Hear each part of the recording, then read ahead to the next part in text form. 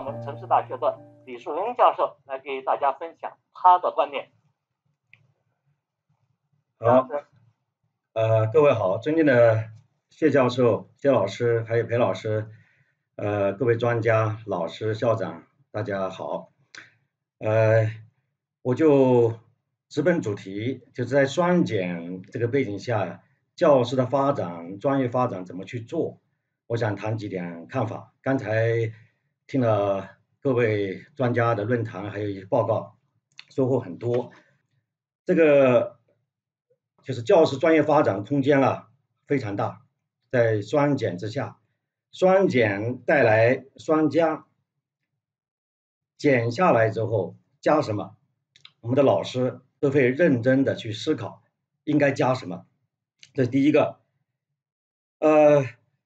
第二个呢，就是双减双加啊，实质上是一个如何运用时间和空间的问题。同时也是一个量和质的问题，什么量，什么质，这也是我们的老师啊要去深刻反省的。当然，我们可以从多方面去去去提出一些分享，但老师呢，我相信他们会做一些非常深入的思考。所以从这个意义上说啊，我们的教师专业发展啊，真的是空间很大。究竟应该怎么去做呢？对我们的教师教育的工作者啊。也是提出了一个非常大的挑战。我们经常呢做的一些模式呢，就是一个教师的培训。那教师的培训呢，大多呢是讲一些理论，讲一些要怎么去做。教师的培训呢，又是更多的是一种培和训，是一种技术化的一种手段。呃，我觉得这个当然是很必要，但是不够。那么后来我们又提出来教师的研修，我觉得也挺好。那这里就。有非技术化的成分在里面去了，那我觉得再往下一个层分层面呢，就是我们的教师的这种智慧和敏感性的这种培养和养育，这一个非常重要，所以还是有一些路径可以去做的啊。我想呢，这个我们从教书，从过去五六十年代、七八十年代都是教书，然后转向了教学。呃，然后呢？现在我们提到的是要赋能，提升他们的能力，教少一点，学多一点，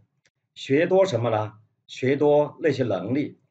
呃，那些思维、独立思考、不断的去提升的这样的一些能力，解决问题、团队精神、合作能力、语言表达能力等等。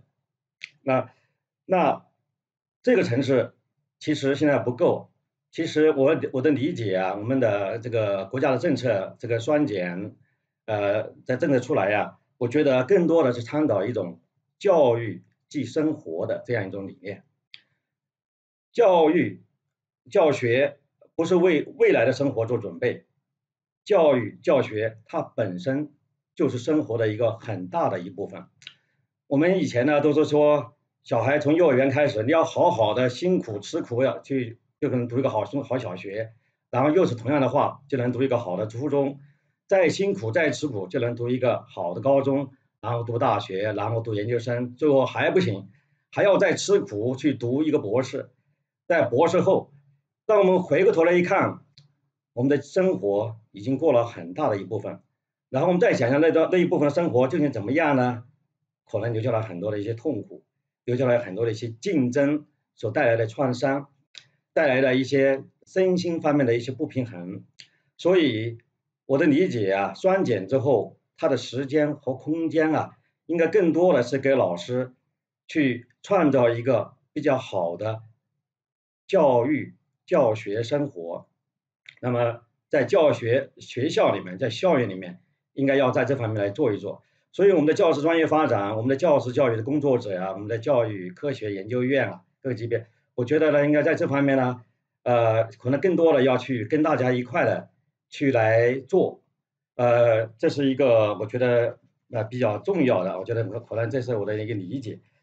呃，更多的呢，老师应该要去关注学生的生活体验，关注学生的独特性，每一个小孩他都是独特的，要关注他的独特性，然后呢，要学会怎么去呃与学生怎么去相处。然后呢，不断的去思考我该怎么做，对这个孩子在这个时刻怎么做才是最贴切的。那么这就需要一种反思力的提升，我们的教育教师专业发展啊，可以在这方面，我觉得可以做的更多。呃，大家都我们都可以一块去研究一下。还有就是这个关注课堂，关注校园，关注教育的日常生活的体验。我觉得啊，这个可以解决理论跟实践它的这个鸿沟的一个问题。其实理论跟实践之间。如果我们基于课堂、基于学校来做，我们的教师专业发展可能会打开更大的一个空间。呃，还有呢，要多一点教育的情调，多一点教育的智慧。这个情调，我说的是一种这个老师跟学生在教学校园当中等等的一种情感的体验，这个非常重要。好的老师一走进课堂，他还没有走进课堂呢。他就能感觉到课堂里的这种情感是什么样的，是不是说这个老师又来了很糟糕，还是非常期待这个老师来，这样的一些情感教育的情调啊，应该要多一点去培育他，然后培育多一点这个这种敏感和智慧，这一个呢是非常非常重要的，呃，我就不多说了，因为时间关系，呃，就说这一点，呃，谢谢大家。啊，非常感谢我们李教授的发言。我们每位老师在双减过程中都要思考双加的问题，呃，认真运用好空间和时间，呃，如何促进教师专业发展，需要继续创新教师专业发展的方式和途径，以及呢，我们要深入理解教育即生活的理念，关注我们学生，关注日常生活，都是非常重要的呃措施或者是我们的行动建议。